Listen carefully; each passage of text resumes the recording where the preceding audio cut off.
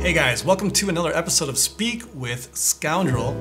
This is your opportunity to send me a question and ask me something you're struggling with or there's a challenge in your life that you want my advice on.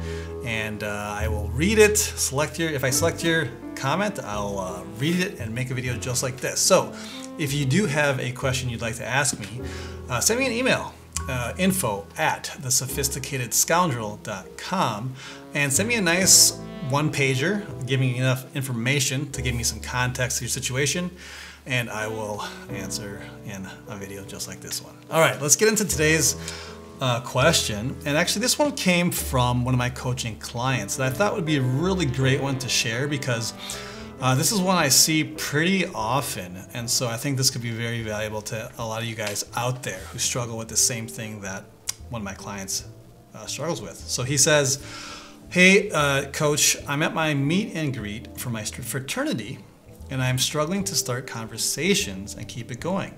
I'm too in my own head and can't be present at the moment. And uh, I, even with the brothers that I rushed with as well, I'm struggling. Uh, the, uh, oh, that I rushed with, meaning uh, joined the fraternity with, I'm struggling with conversation. And you know, guys, this is something that so many guys reach out to me about. They don't know how to keep a conversation going. And I'm going to be completely honest with you.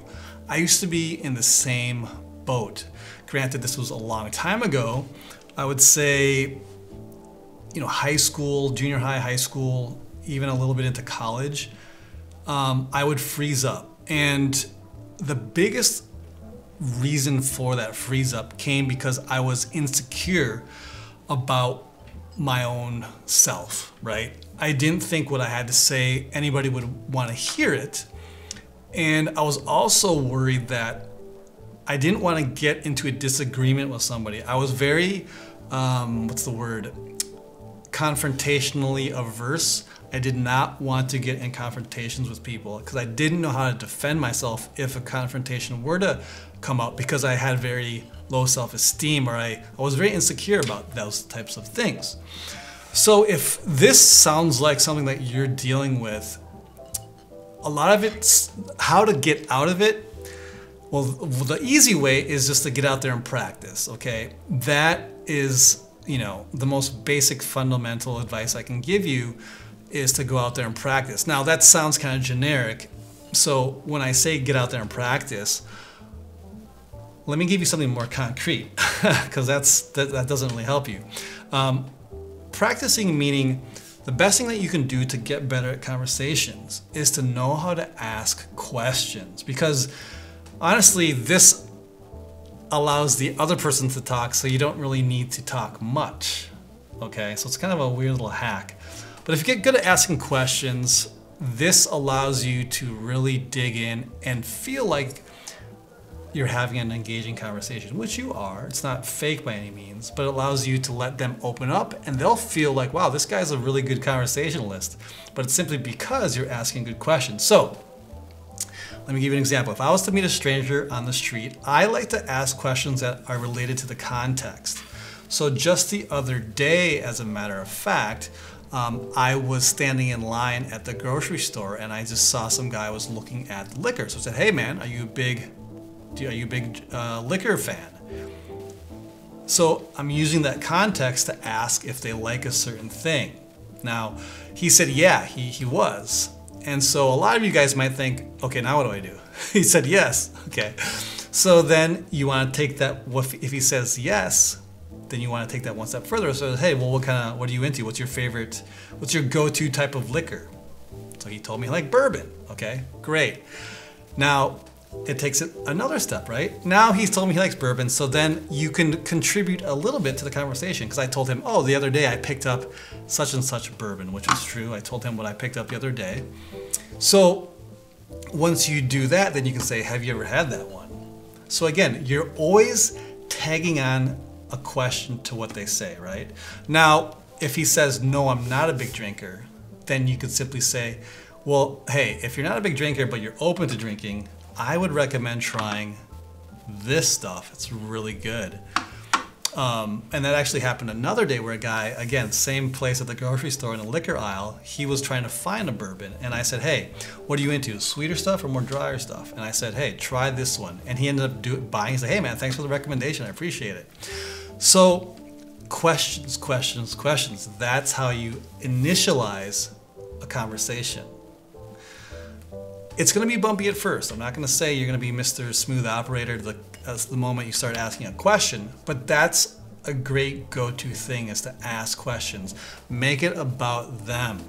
Okay. Now, on the flip side, that's the that's the band-aid I like to call it of how to uh, get better at conversing with people and holding conversations.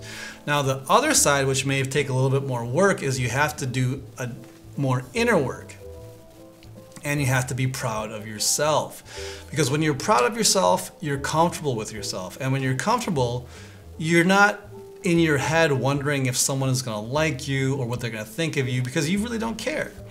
And I don't mean that in a rude sense. I mean, you're so comfortable with yourself and you're proud of yourself that, hey, if someone doesn't really like you, that's okay. Um, and so, what I would suggest to you is writing down things that you like about yourself. Now, don't tell me there's nothing that you like about yourself. That's bullshit. It can be the most mundane things. I make a sick peanut butter sandwich, or I'm really good at taking naps. Doesn't matter. Think outside the box here and write down things that you can look at and be proud of. Because when you have a list of things like, you know what, you know, I'm, I'm really good at playing video games, or I'm really good at uh, driving, or I'm really good at finding the best burger spots in town. That's something that you have that you can now own. You can claim that.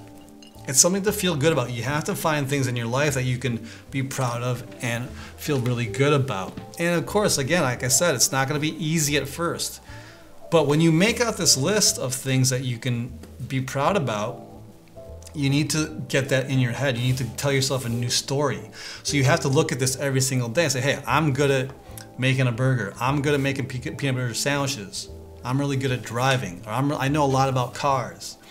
Um, you know, I'm good at uh, taking naps. Find something that you can be proud of.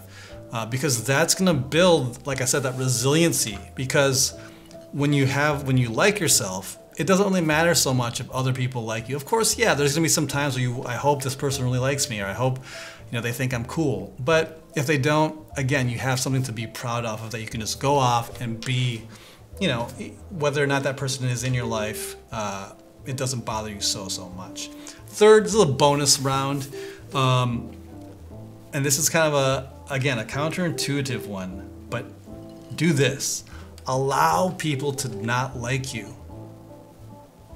That sounds weird, right? Allow, give people an opportunity to not like you. So don't worry, so don't be in your head about what you say. If they don't like you, allow them to not like you. That's okay. Not everyone has to be uh, your best friend or to like you. Uh, and that might happen, to be honest with you. There are people who don't like me, and I have to be comfortable with that. But you know, the funny thing is, is that when you can own that and allow them to not like you, you kind of actually become more likable. It's a weird, a counterintuitive thing, but if someone doesn't like me and I'm like, hey, okay, man, you don't like me, I get that. I totally see that, man. That's that's, hey, I get it, man. I'm a I'm a jerk. I'm a dick. they almost like, okay, you know, this guy's not so bad because he's self-aware enough, right? When you're with someone who admits something and is self-aware, you kind of like your tension goes down. That animosity starts to fade away a bit. So let people uh, not like you. And if they don't like a certain thing about you, maybe it's true, man. And that's okay. when you allow yourself to be unlikable, you're more flexible to maybe change it up a bit. And when you allow other people to not to like you, it allows them to think, hey, this guy's human. He realizes he's not likable. And they just might end up turning that opinion into respecting you at least. So if you struggle with keeping a conversation going, try these things out. Like I said, you have that little quick band-aid of just getting out there and forcing yourself to do it, which does work. And I even still practice this practice this to this day. I go out and whenever I go I try to make conversation with as many people as I can. Even Coach Jason is out there doing this stuff. because it's a very valuable skill and I like to get better and better at it. Or there's the more deeper motivation way of looking inside yourself. Find what you're ashamed about yourself and then list up the things that you're proud about yourself that you can reinforce that hey, you're not that bad. Whether someone likes you or not, it's not it's okay because you got valuable things. You have some redeeming qualities about yourself. Live with those things, be proud of those things so that when you, you know, are out and about, you're not so worried about whether someone will like you or not. Okay, so um, if you guys have any questions, again, this is your opportunity to speak with Scoundrel, Coach Jason here. Info at thesophisticatedscoundrel.com. Send me an email with your question. I'd love to answer it. Uh, don't be shy. Uh, if you haven't already, I invite you to subscribe. I put videos out every week. And if you are looking to uh, learn how to attract feminine women into your life, I have a free guide. Download that below. Uh, and if you'd like some coaching one on one, I also have links down below that you can book a session with me. All right, that's it for this video. I'm going to take a little sip of my uh, black Manhattan, and we'll talk to you soon. Cheers.